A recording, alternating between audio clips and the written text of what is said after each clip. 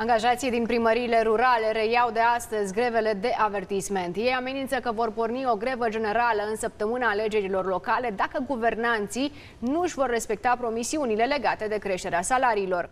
În 2500 de primării de comune, angajații vor înceta de astăzi lucrul timp de două ore și orice cerere sau adeverință nu va fi eliberată pe loc, ci în termen legal de 30 de zile.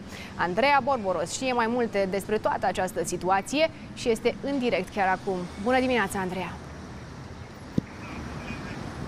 Bună dimineața tuturor! La nivelul județului Timiș, peste 200 de sindicaliști din scor, angajați în 16 primării din uh, județ, uh, vor uh, intra în grevă de avertisment. Aici, la primăria Săcălaz, locul unde ne aflăm și noi, 16 angajați vor demara această grevă începând cu ora 11. Greva de avertisment se va încheia la ora 13. Ei bine, aceștia susțin că în aceste două ore activitatea cu publicul va fi oprită, iar în restul programului se va face exces de zel. Ei bine, ce înseamnă acest lucru? Practic, uh, adeverințele nu vor mai fi eliberate de către angajații primăriei așa cum obișnuiau să o facă în cel mai scurt timp, ci aceștia vor respecta termenul legal care uneori poate atinge chiar și 30 uh, de zile. Nemulțumirea sindicaliștilor se uh, referă în special la salariile care, spun ei, din 2021 nu au mai fost mărite, în vreme ce toate taxele taxele